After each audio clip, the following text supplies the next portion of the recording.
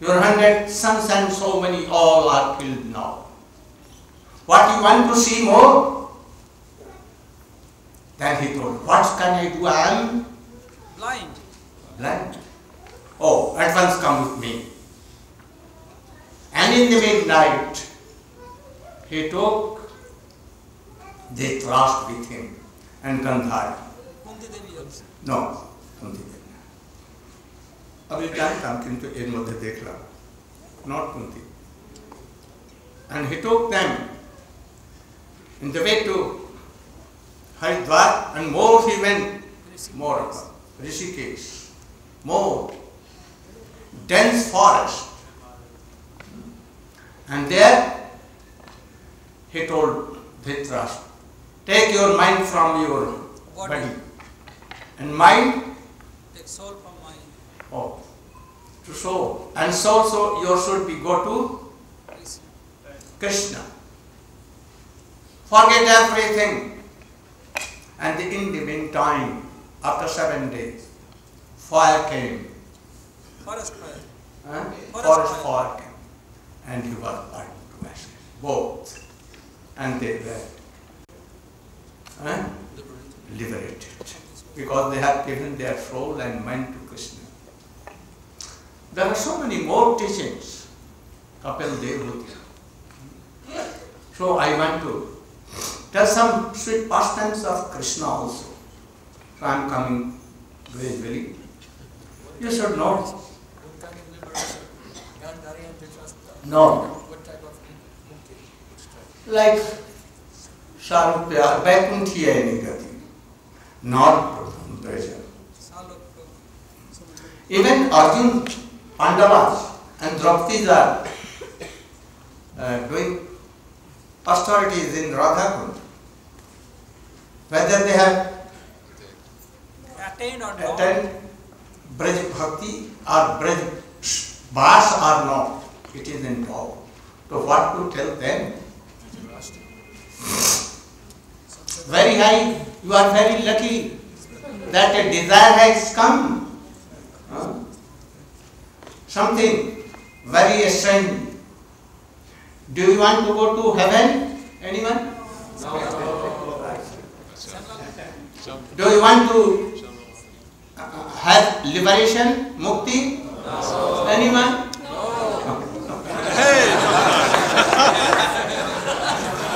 After that, do we want to be the associates of Ramchandra? Oh, one, one, one. and do you want to be the king of Krishna in Dwarka? No. And do you want to be in Vrindavan like friends? No. no. Like Mother Jashoda and Nanda Baba? Only like Gopi. The next advent of Radhika. So you are very fortunate to hear all these things and trying to fix your aim and object of your sadhana. This is a very good success in your life. You should think all very, very fortunate you. But one thing I request you. If you want to attend this, don't criticize anyone Vaishnava. Never in any way try to cut that tongue. Your, yours, tongue, should oh, try to and punish that tongue. If mine once, but if you accept by this, साधु सातुसंग नाम कीर्तन भागवत श्रमण मथुरा वासी मूर्ति, श्रद्धा सकल साधन श्रेष्ठ ए पंचंग, कृष्ण प्रेम, जन्माये पाँच वैशोरी यूल है यूल है now you should try to follow my instructions not my instruction my guru parampara instruction and instruction of Srila Vyasdev, Srila Sukdev Goswami, Narad, Chaitanya Mahaprabhu, especially Rup and Raghunath. So try to always remember my words. Don't have any doubt in Guru, Vaishnava, Bhagavad. And thus your life should be successful. Now, uh, you know the bhakti of Dhruva. Dhruva. You can speak something. In short. Microphone, please.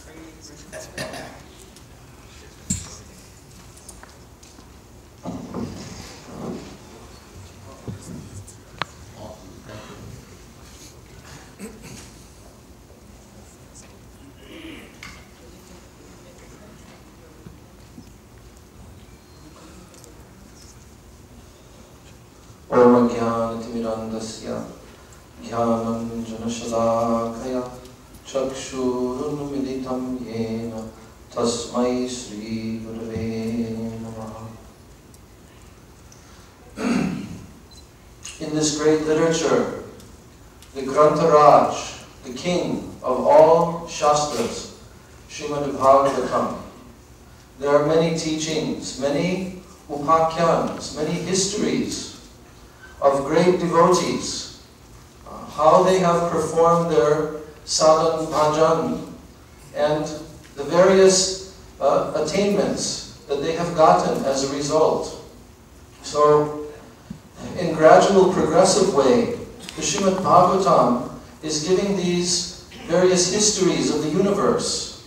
One of them uh, is the history of Dhruva Maharaj. So, this is in the fourth canto of the Srimad Bhagavatam, describing that Dhruva Maharaj, uh, he was the son of King Uttanapad, and he was in the dynasty of Swayambhuva Manu. So, at the very beginning of the universe, these great personalities, like Prajapatis, they, they were the sons of Brahmaji, and they populated the whole universe. So, so Dhruva Maharaj took birth from King Uttanapad, and King Uttanapad had two wives, Suruchi and Suniti. And Suniti was the mother of Dhruva Maharaj. But actually King Uttanapad, he had a, uh, he had a more favor toward his wife Suruchi. Uh, so one day, when Dhruva Maharaj came to the court of King Uttanapad, he came there, he came there and he wanted to sit on the lap of his father.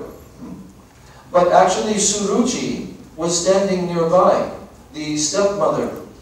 And she rebuked little boy Dhruva, who at that time was only five years old, and she told him, You cannot sit on the lap of your father, because you have not come from my womb. Only if you come from my womb, then you can sit on the lap of your father.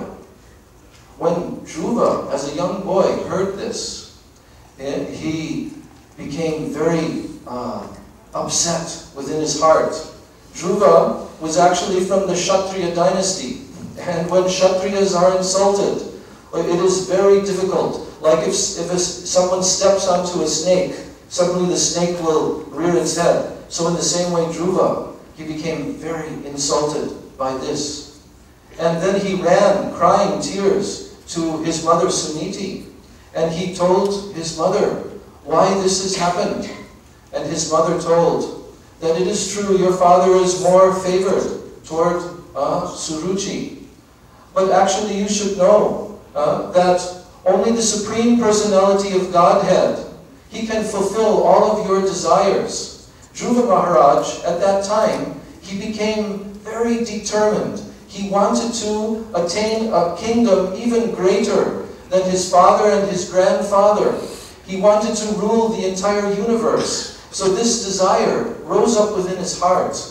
And his mother gave him some instruction that if you want to fulfill your desire, because she was a very religious lady, uh, she was very dharmic, And she was also a, a devotee of the Supreme Lord. So she told that if you want to fulfill your desire, then you will have to satisfy the Supreme Lord. And Dhruva Maharaj, he uh, asked, Where can I locate him? Where can I find him? She told that many rishis, many saints, they go to the forest and they absorb themselves very deeply in meditations and yoga, and there they gain darshan of the Supreme Lord. So at that moment, Dhruva Maharaj, with very great determination, he immediately left the palace and he began to go into the forest. Along the way, as he came towards the forest, Sri Narad Muni, the great sage, um, the great spiritual master, as Srila Gurudev told us, of so many great devotees in the universe, he suddenly appeared there in front of Dhruva Maharaj. And he asked him, Where are you going? Oh, he told, I'm going to the forest. I want to uh, find, I want to see the Supreme Lord Himself, Bhagavan. So Narada Muni, at that time, he took compassion on Dhruva and he gave him instruction. And he also gave, imparted a particular mantra to him. So, at that time, Dhruva Maharaj very obediently accepted the order of Narad Muni, who told him that he must chant this mantra with great faith and great determination. And now, Dhruva Maharaj went into the forest.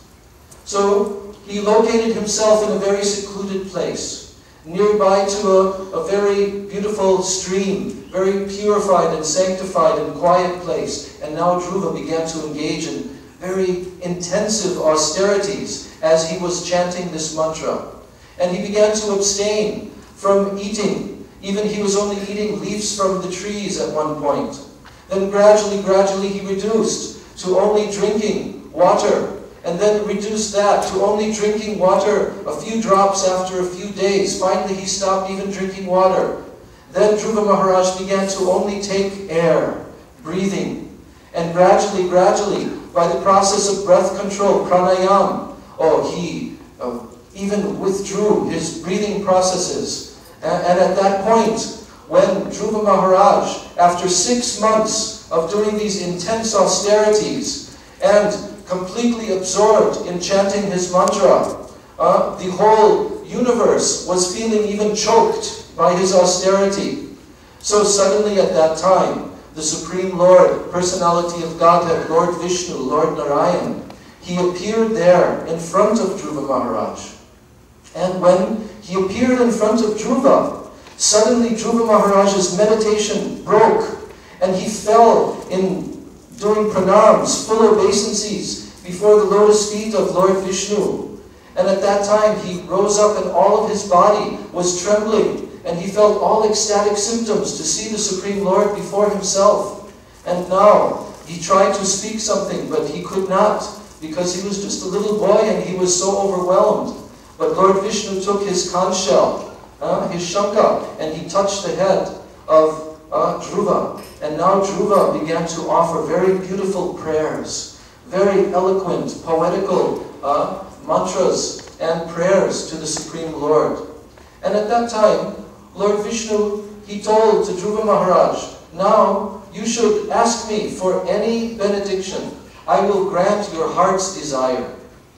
So Dhruva Maharaj, although he had come into the forest with this intense desire to gain a material kingdom, great vast wealth and power, uh, but when he saw Lord Vishnu, his heart melted, and actually he lamented very deeply within his heart that I was motivated by such a material desire, and I worshipped you for this uh, useless material desire. Now that I have seen your lotus feet, now that I have seen your beautiful form, oh, I realize that I don't want anything. I only want to serve your lotus feet.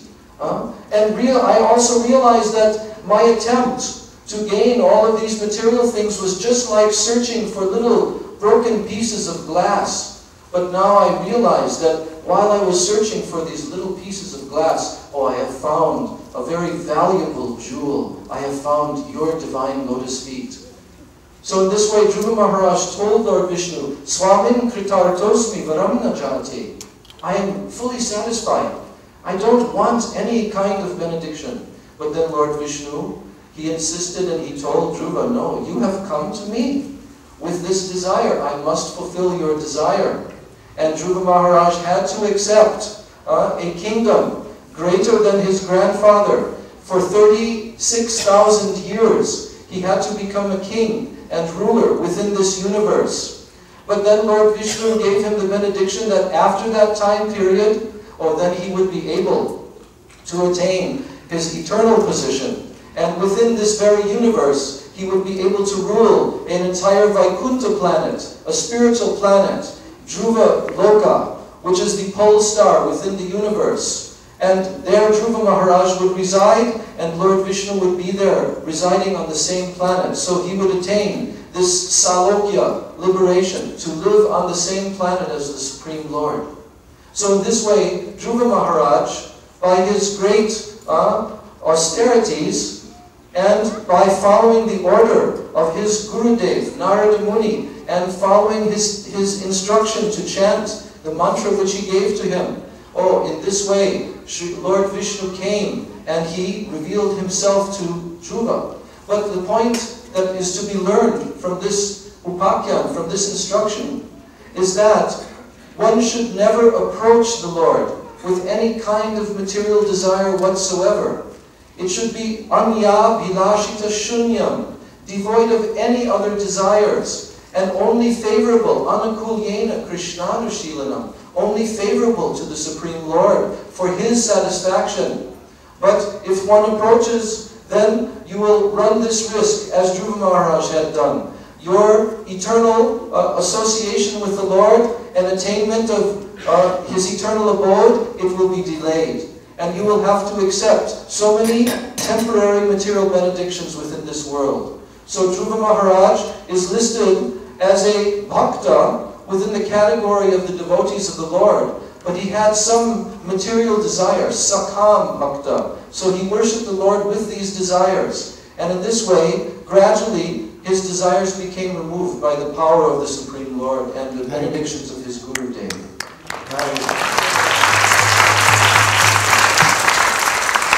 By this katha, you should know that through by mantra given by his guru, hmm, and he received that position. Why you cannot? More better, superior mantra are with you. Brahma Gayatri, and then Guru Mantra, Guru Gayatri, Gaur Mantra, Gaur Gayatri, Oh Gopal Mantra, essence of all the mantra, and more. Kam Gayatri. And moreover, you have Harinam. So why you cannot attend? I think, oh, he took six, uh, six months. And very easily chanting and remembering, and if you are doing very strictly your months with great honor, you must be successful. But only thing that you should not want any worldly thing.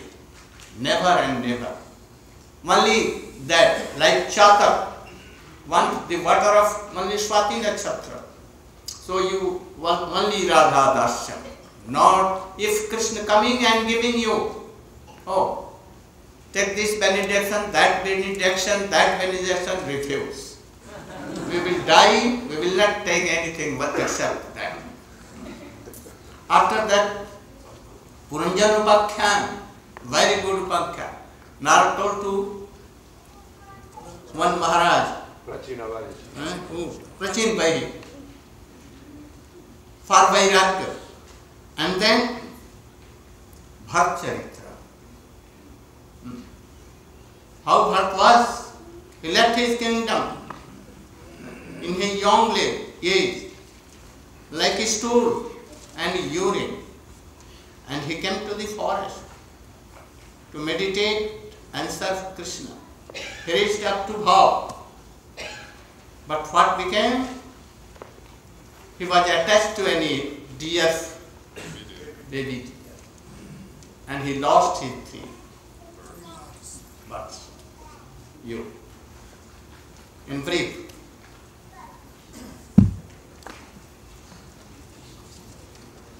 very brief.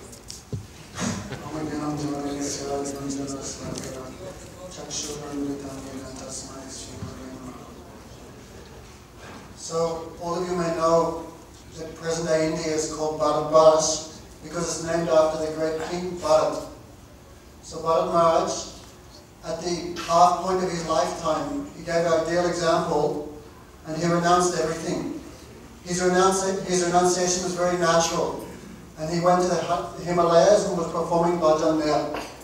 His bhajan had attained such a high Not stage Himalayan. above the Himalaya, in Gandaki River. In Gandaki, where Salagram. So, what a level of bhajan he had attained. It's described that his heart was like, an, like a lake of bhakti ras, and inside that he would drown. As he would remember Krishna, tears would come from his eyes, his voice would choke, all the hairs on his body would stand on end. So his bhajan had reached such a high level. So one day, very quickly, one female deer, doe, who was heavily pregnant, she was running from the, the chase of a tiger. And as she left her body on the side of the river, the baby deer was born and was floating down the river. And with her eyes, she was looking, Oh, Bharat Maharaj, what type of sadhu are you? You cannot even have mercy on my son. So Bharat Maharaj, he picked the baby deer out of the water and began to protect it. So he, even he began picking pieces of grass and feeding to the deer. He began nourishing, protecting. Nighttime he would sleep with it. In fact, he became so much absorbed in contemplation and with affection to the deer, his meditation and sadhan bhajan was completely destroyed. When he'd sit in meditation, the deer would come and poke him with his soft horns. So Bharat Maharaj, his mind was completely attached to the deer. So one day, the baby deer, she saw the, the big deer running in the forest. He left Bharat Maharaj and ran to the forest. Bharat Maharaj became completely mad in lamentation. So, be quick. So, even Bharat Maharaj was looking at the moon. The moon is called Sasadala. Oh, moon is very fortunate. Look, my son is there. Oh, earth, all austerities you have performed, the footprints of my son are on you. Thinking like this, Bharat became mad. Bharat Maharaj forgot about death. The death did not forget about Bharat Maharaj. Krishna says, Yam yam bhavi smaramavam, chatadanti kalevalam yevaisasti kunti asamatat bhavavita. Whatever you think of the time of death, that is your next destination. So Bharat Maharaj, at the time of death, he was completely infatuated with the deer, and he remembered the deer. As a result, he took birth as a deer. Guru Maharaj said Maharaj made one mistake, he took three more births. But how many mistakes we are making every day, every month? So Maharaj, as a result of his bhajan, he was not an ordinary deer. He could remember the mistakes he made, and he lamented.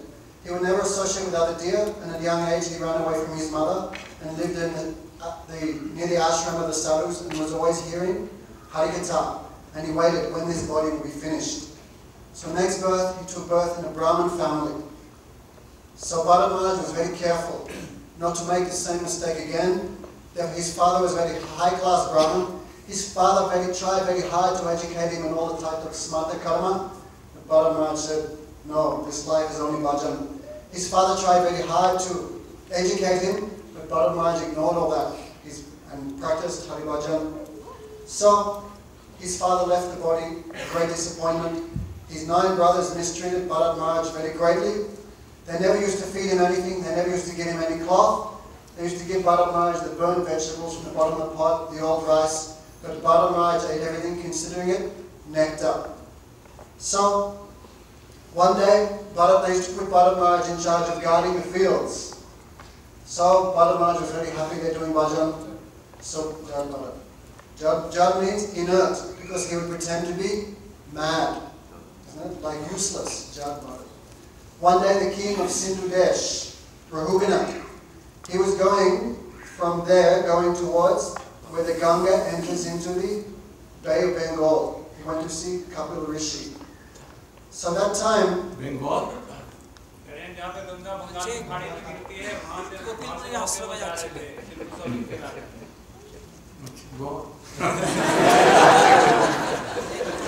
so... Uh, no, no, let, let him. So, Balamaraj the king Rahuganath was being carried on his palanquin, and one of the carriers, he was injured, so they needed a spare tire. Oh, they saw Bharat Maharaj was very powerful, very strong, and by force, even though Bharat Maharaj was so exalted, he was not fit for that work, by force they made him carry the palanquin. The pal- Jad he never gave up his character. Oh, all are related to Krishna. So when he would walk on the ground, he would see the ants and he would move here and there to side to side. Inside Rahuganath cracked his head on the top of the palanquin. What's going on now? Oh, Bharat, oh, foolish fellow, are your carriers not cooperating with you? Maybe they are not walking correctly, but you are okay. And he chastised him very strongly. Bharat Maharaj was silent. He just tolerated. Again and again they were walking, and again Bharat Maharaj, Jad Bharat was moving to avoid the ants. Rahuganath became very angry. Oh fool, are you mad? Are you dead despite the life in your body? Don't you know I who I am? punish you. I am king. I will punish you like Yamaraj punishes the sinful. So Bharat Maharaj was completely undisturbed and smiling. He said, O king, what you have said in sarcasm is definitely true. More louder. O king, what you have said in sarcasm is definitely true. Isn't it? You have said, Oh, I am you are experiencing great difficulty carrying this palanquin, but this is your rubbish. I am not experiencing any difficulty because I am not carrying the palanquin. This body is carrying the palanquin. Therefore, I have nothing to do with this body, nor this palanquin, nor the present situation I am in. You know nothing about the difference between the soul and the body. O king, the body is not fat, nor thin, nor stout, nor black, nor white, nor anything else that you have No king, Sense. no servant, nothing. You said? Therefore, happiness, distress, mental fatigue, material desires, death, birth, these are all come from the material mind. But I have nothing to do with any of this. O king, you have said, I am king and you are servant. Is this true? But I say this is a temporary situation. And soon, maybe I will be king and you will be servant. And you have said that I am dead despite living. But king, I may let you know this is a fact for every living being in this world. Everyone's body is dead and it's only alive because of the presence of the Jivatma. O king, you have said that I am mad despite living. But you should know that I am not mad. I am perfected, liberated soul, servant of the Supreme Lord. And if you think I am mad and punishing me, what's the use of your punishment? Like beating a dead horse is no benefit. O king, you have given me so nice instructions. What should I do? Shall I carry your palanquin again? So Bharat, the king of Huguenot, became very afraid. He leapt down from his palanquin and fell up weeping at the feet of Bharat Maharaj.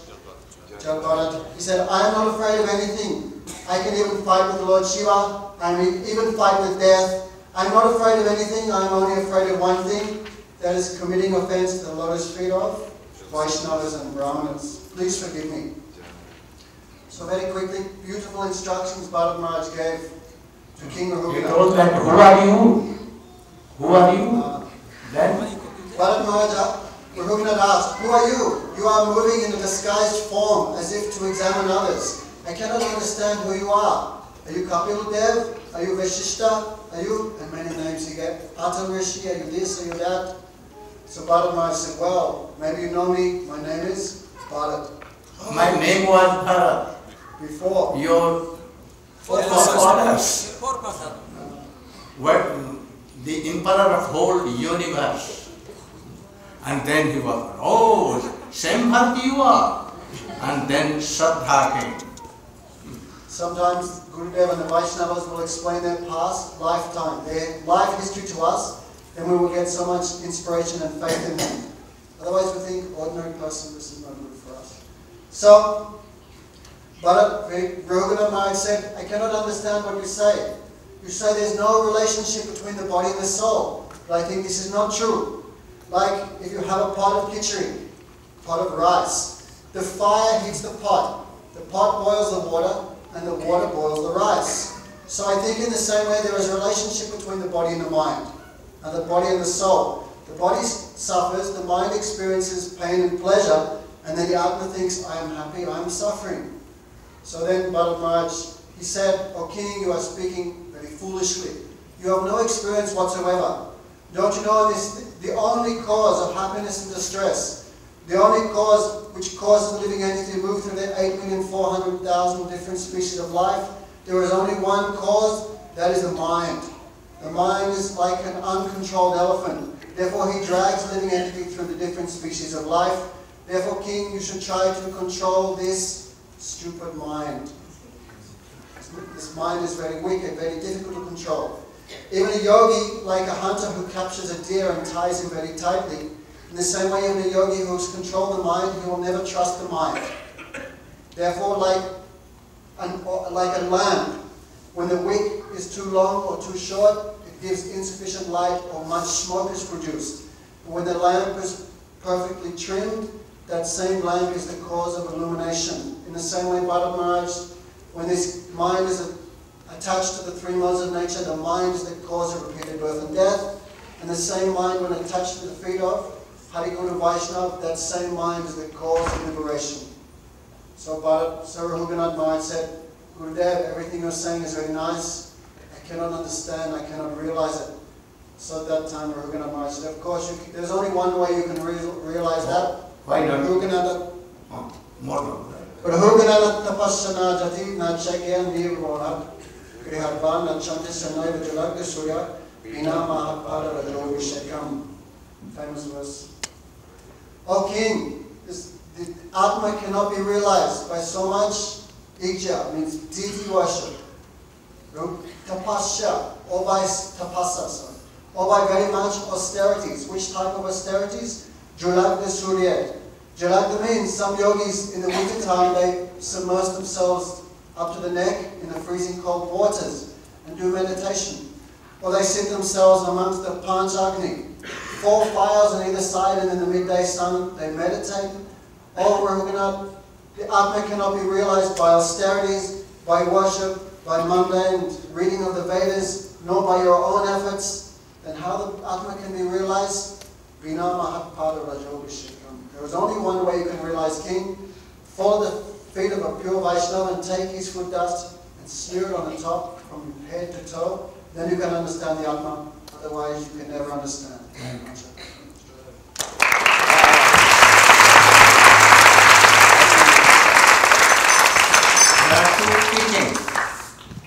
Especially so many teachings, but two from Bhartupakya. Don't be attached to anything.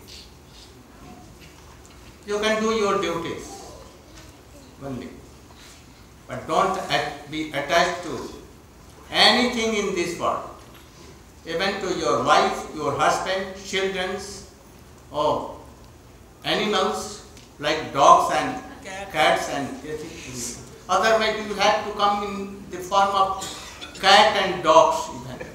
So don't. And one thing more, at the time of death, Bharat was remembering only dear, dear, dear, where he went. And so he came in the form of deer.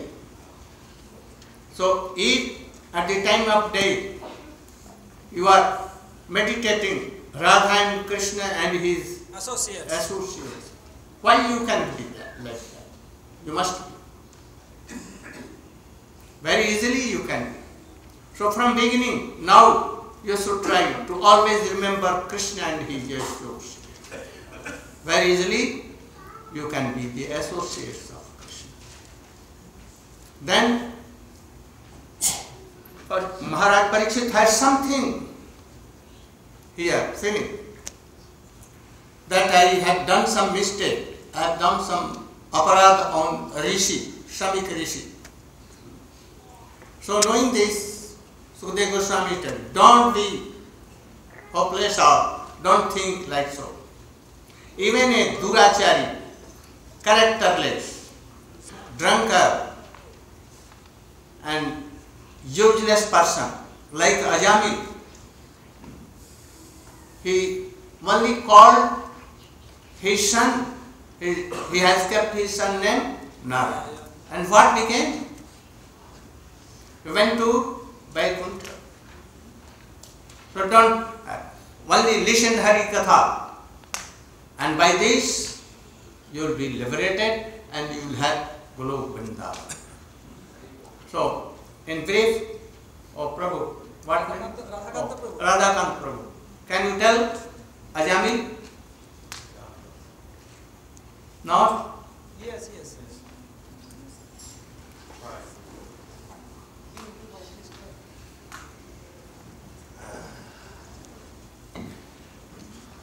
Very easy.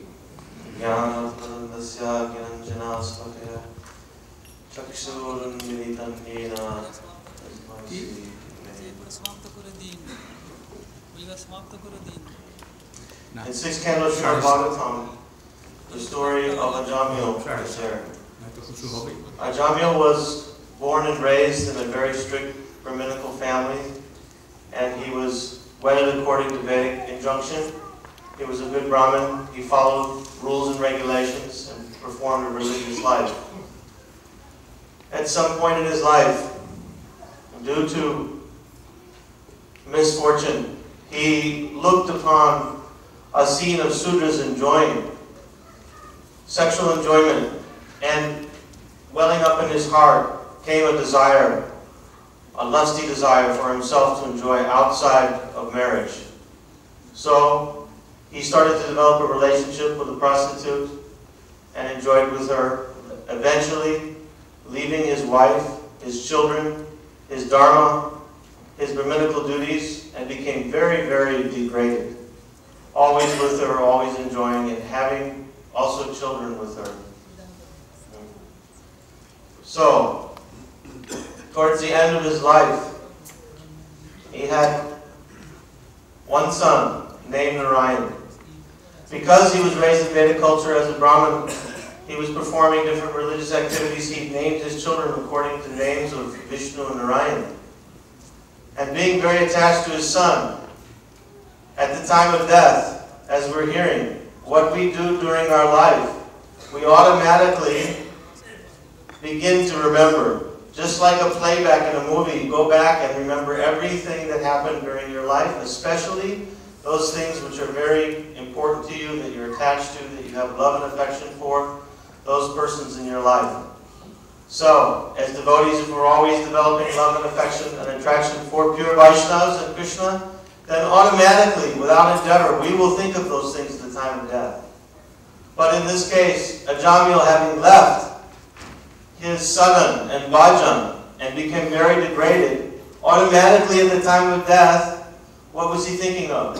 He was only thinking of his family and his son.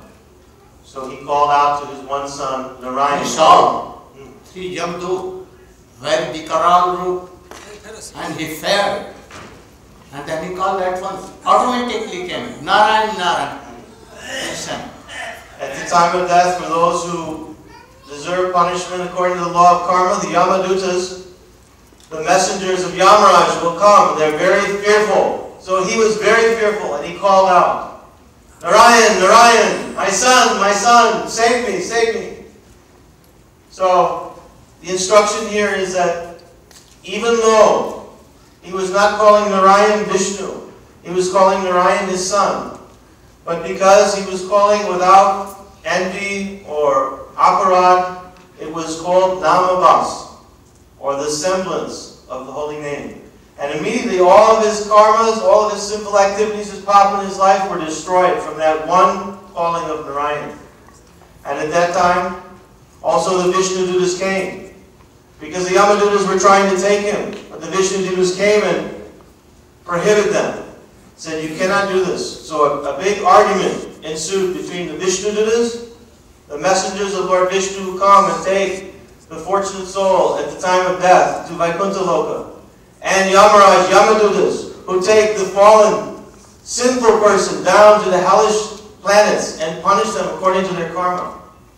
And during that conversation, they described the various qualities of the holy name and how uh, the Yamadutas could not take Ajamil because his sins had been freed. So he was given another opportunity to live. He didn't go back to Vaikuntha at that moment, but he was freed from death. At least Yamaraj and, Yam- and Yamadutas could not take him. So at that time he repented, oh, I have lived such a sinful life. I must change my ways. Now I've heard the Vishnu Dutas. I have sadhu sangha. I'm hearing this katha, this Hari katha. I've become purified and I understand what is my duty now. I'll rectify myself. And with a repentant attitude, he went to Haridwar. And there he took sadhu sangha, performed bhajan, and at the end of his life, he perfected himself and went back home, back to Godhead. Very good. Thank you. So, if anyone will chant Hare Krishna at the time of death, anyhow, if none of us, death will not come. And again you can have chants like Ajamil. And if you are chanting pure Shuddha name, at once to Guru Vrinda, Guru. And with love and affection in the guidance of Rupa Goswami, then not to even Golok or direct to Vrindavan.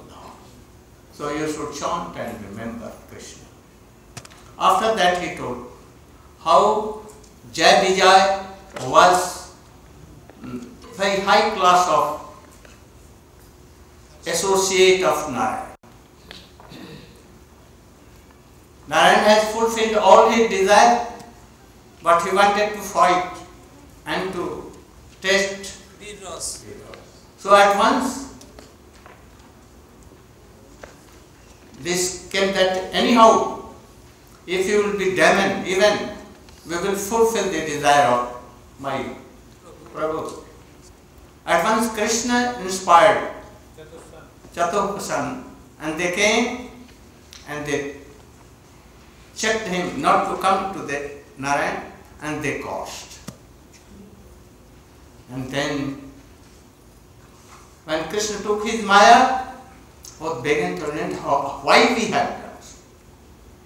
But for three Janma, Lifetime. lifetime. Hmm. Oh.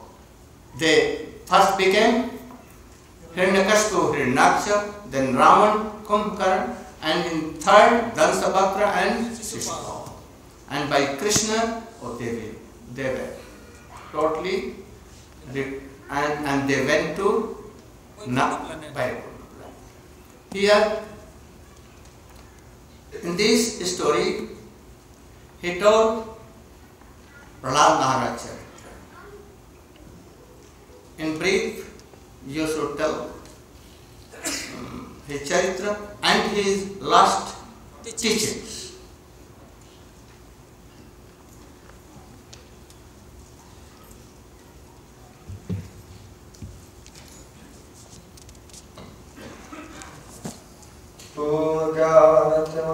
पूर्गानत्यमरधस्य ज्ञानदरसलाकया चक्षुरुन्मिलितं येन तस्मै श्रीगुरवे नमः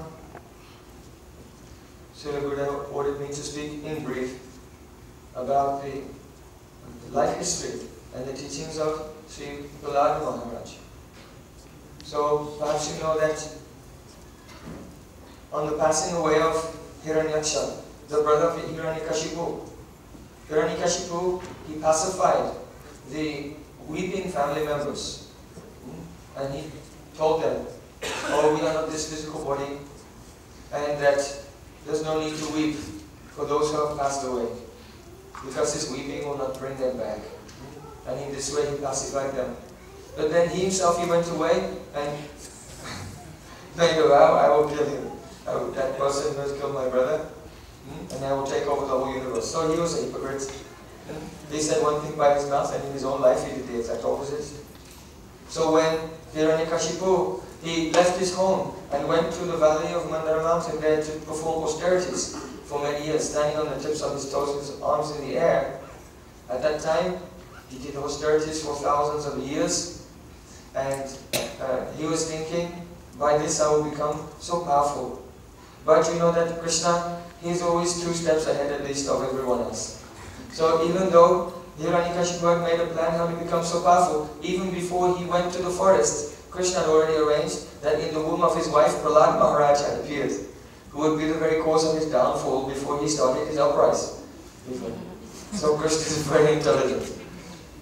So then, while he was away doing austerities, Indra and the Devatas, they came and they kidnapped the wife of Hiranyakashipu because they thought, now she's pregnant, another demon will come in her womb, so kill him before he's born. But Rishi came there and he told them, oh, this is not a demon in the womb of uh, Kayadu, he is a great devotee. So they did parikrama of that great devotee and pranam and they left to the heavenly planets. Then Rishi, he took the wife of Hiranyakashipu, Kayadu, to his ashram, that is at Narad Kund. And there he told Harikatha to her for 60,000 years. But after that she forgot everything. But the child who was in the womb, hearing Harikatha for 60,000 years from Narad, how qualified he will be after hearing 60,000 years. So when he was born, he was a, a great devotee. So in the meantime, Hiranyakashipu, he did his austerities and Lord Brahma appeared to him and said, I give you a benediction. What do you want? He said, I want to be immortal. And Brahmaji said that I myself am not immortal. Ask for something else. Then he gave me the benediction that I will not be killed in the day or the night, in the, any month, or if I should not be killed on the land or in the air or in the sky or by any weapon or by any human being or animal or any cre creature created by you, which is everyone in the whole universe. And in this way, he asked for all of these benedictions and he thought that when they all add up together, it's the same as being immortal.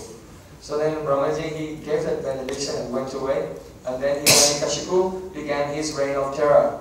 At once he attacked the heavenly planets, he kicked Indra out from his throne. All the demigods ran away and were hiding here and there in the universe. And for sitting on the throne of Indra, he began to control the whole universe. Even though he was drunk, intoxicated, his eyes were rolling, but still, he reversed the, mm, all the karmas. If you do pious activities, then a bad reaction will come. And he made the, all the uh, plants and fruits come from the ground without even, doing any work. In this way, he made a complete chaos throughout the whole universe. He was so powerful. So, his wife had given birth to a child, only five years old, Prahlad, and he was going to school. And Hiranyakashipu, he wanted to, he had so much affection, attachment, attachment to his child. And his, the mother of Prahlad dressed him, bathed him, decorated him, and brought him before his father. So Hiranyakashipu called, Oh my son, please come, and took his son in his lap.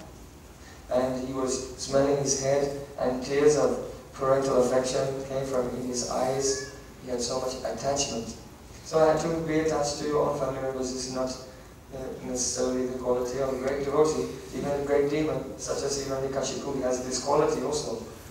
So he said, Oh my dear son, can you tell me what is the best thing that you have learned at school? Hmm? So then Prahlad Maharaj, he said, Tat sadhu manye asuravaya dehinam sada samudvigna diyam asakriha Titvatmapatam riyamandakupam mano katham yad harimasayita Oh, best among the demons, Asura Vajra.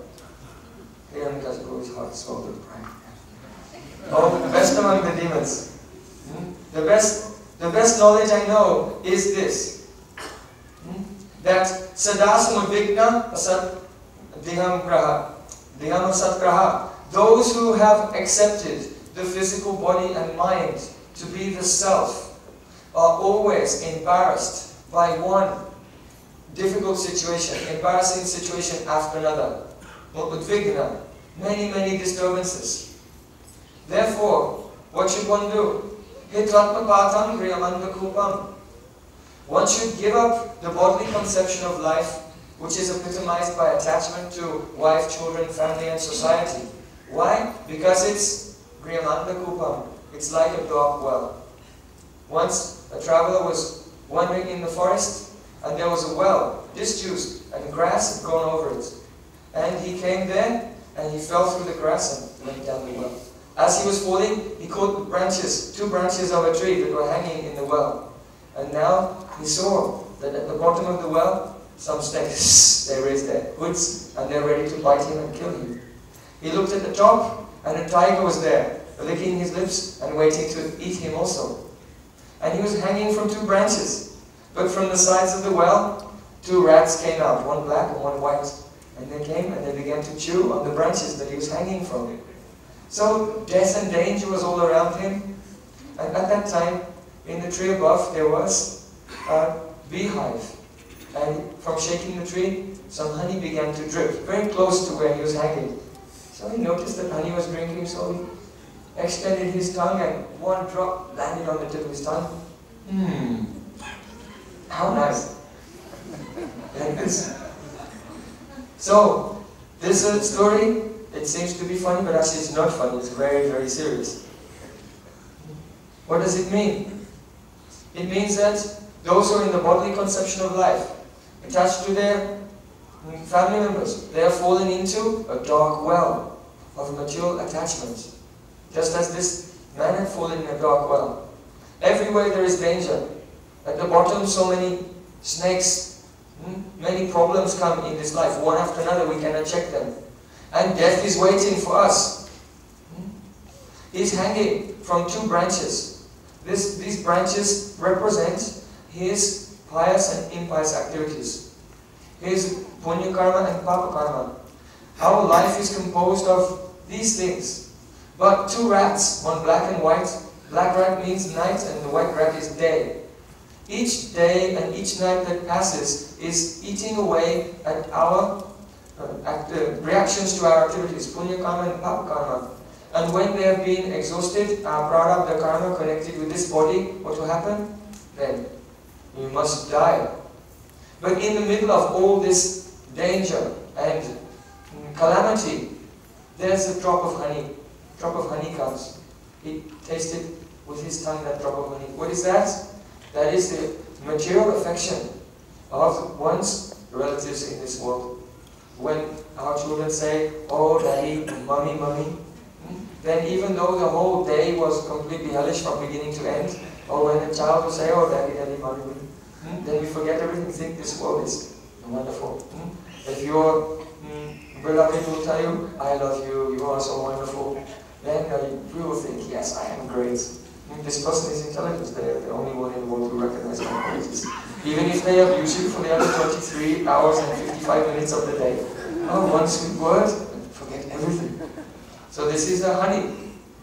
So Prahlad Maharaj says, all in this world are in this predicament, so what should be done? This dark well is what? The Atma Pat. It blocks the progress of the soul. The soul cannot grow, he cannot evolve, he cannot go towards God. Therefore, one should leave this situation at once. And Vanam Gato Yad Harimashveta. One should go to Ban, Brindaban. One should go to the forest. To go to the forest means what? To go to Sadhu Sangha, have the association of pure Vaishnavas. And in their association, under their guidance, Yad Hari Mashveta, take shelter of the lotus feet of Hari. When Hiranyakashipu heard this, he was surprised. Hmm? He looked at the teachers of Prahlad Maharaj. He said, so, the good intelligence of children is spoiled by bad association. Hmm? It seems that some of those Vaishnavas, they may have been coming into the palace in disguise. And by their association, his intelligence has become polluted. So take him away and educate him in the real values of life. Hmm? That means politics, diplomacy, and how to collect money and be powerful and collect reputation. So Sanda and Amarka, they gave their words, but we'll take care of him, don't worry. And they took Prahlad away and they began to educate him in materialistic values. After some time, again, the mother of Hiranyakashipu, the mother of Prahlad, brought her son to Hiranyakashipu and again he took his son in his lap and affectionately embraced him and said, Oh, can you tell me, what is the best thing that you have learned? This time, Prahlad Maharaj, he said, Shravanam Kirtanam Vishnu Smaranam Pada Sevanam Achanam Vandanam Dasyam Sakyam Atma Nivedanam Iti Pumsakita Bhaktis Chandavalakshana Kreti Bhagavate Datham Nanyeditamutamam So, without any fear, hmm, and very politely, he said to his father, I think that a person who has surrendered completely Hmm? Where? Iti Pumsavita Vishnu. Unto Vishnu. but there are two Vishnus. One is a Vishai mm, Bhagavan, and other Ashai Bhagavan. First take shelter of Ashai Bhagavan, that means Shri Guru. Afterwards one can realize Vishai Bhagavan, Shri Krishna. One who has surrendered himself unconditionally at the lotus feet of Guru. And after that, he engages in Shravanam Kirtanam Vishnu Smaranam, hearing, chanting, remembering, etc. He is the most learned person. It is understood that he has, uh, he has understood all the essence of life. So here Prahlad Maharaj said, first surrender, then hear, chant, remember. If one is hearing, chanting and remembering, but he's independent and whimsical and not surrendered to the lotus feet of Sadguru, then his hearing, chanting and remembering it can never be called bhakti. It is only a mask, only drama, only for show. So when Hiranyakashipu heard this, oh then he pushed his child from his lap. He said, if any part of the body becomes diseased, then what should you do? Oh, you have to cut it off. So though he's like part of my body, he should be cut down. Take him away and kill him. So then the gods came and took Prahlad away, and they tried to kill him. They tried to give him poison. They put him among deadly snakes. They tried to throw him under the feet of stampeding elephants. They threw him from the tops of mountains in many ways. But it, everything failed. Even Hiranyakashipu's sister, Holika, tried to catch him in a fire, but she herself was killed, and Prahlad Maharaj, he was safe and sound, only chanting, Hare Krishna, Hare Krishna, Krishna Krishna, Hare Hare Rama. Chanting the name of Krishna, he was untouched. Then Hiranyakashipu became very worried. He was so afraid. He thought, what is this? If I can't kill him, then perhaps he will kill me. And when he was worried, Sanda and Amarka, the two teachers of Prahlad, the sons of Shukracharya, they told him, don't be worried, our father is away now, but just soon he will come back and he is very learned, he will think of a solution. So then, the, again, Prahlad went to school. So when the school was going on, his behavior was good, so the teachers made him the class monitor. And when they went for their break, they told him, look after the other students. Then the teachers went away, and when the cats away, mice will play. So all the children began to play around. But Prahlad called them, Oh my dear friends, please listen to me. I have something to tell you. We don't waste your time playing around. You should take up the process of devotion to God, spiritual life. The children said, Oh Prahlad, we're kids now. So we just want to play and we'll do bhajan later when we're old. So Prahlad Maharaj, he said, this policy is not good. Why? Kamara acharet pragyodamam bhagavatam hitam dulabhamanavat janma yadatta apya dhruvam artadam. Hmm? Kamara acharet pragyo. Those who have pragya, intelligence, they will practice bhakti from the beginning, from the very beginning of their life, from childhood. Why? Because this life at most maybe 100 years. And of 100 years, then, oh, 50 years will be gone, only lying in bed and dribbling. like a dead body, doing nothing, completely wasted 50 years. And then 50 years are left. Out of this, first 10 years, children, they have no developed intelligence and discrimination, only playing around. Next 10 years, education. Go to college and university and become qualified to have a very good job as a doctor, lawyer, accountant, or something. And then, after that, then you have to work. And you, at the end of your life, also 20 years, from the age of 80 to 100, then you have no energy for singing, dancing, and, and doing kirtan and serving the lotus feet of Guru. So these years are also lost. And in the middle, how much time? Very little time. Only a few years. And in those few years, you have to get a house, a car, and a computer, and TV, and refrigerator, and microwave, and MP3 player, and iPhone, and many things. And that time will be completely lost also. So, therefore, from the beginning, if you think that you'll do bhajan at the end of your life, then what will happen? Yes, you can do bhajan at the end of your life and you'll take your mala and you'll remember your house, your furniture, your car, your animals, your children, and all those things in which you were absorbed for your whole life. How you chant. So from the beginning, once you do bhakti. When his friends heard this, because Prahlad is so powerful, he has so much shraddha and realization, they were influenced. So they asked him, Oh Prahlad, how can we do bhakti? So Prahlad Maharaj said, Guru Sususraya Bhakta Savalabda Panena Cha Sangena Saru Bhaktanam Ishvara Radhanena Cha. If you want to do bhakti, then it begins here. Guru Sususraya Bhaktya. First, take shelter of lotus feet of Sadguru. And Sususraya, it means to hear very carefully, with honor, and think, I will follow what my Gurudev is telling. Hmm? And also, with a mamata, with possessiveness for the lotus feet of Guru. Guru is my savior and my nearest and dearest friend. And in this mood, Guru Susasya Bhaktya Savalabdhapanenacha. If anything will come in your life, any money or reputation or anything, take everything and keep it at the lotus feet of your Gurudev. Don't keep anything for yourself.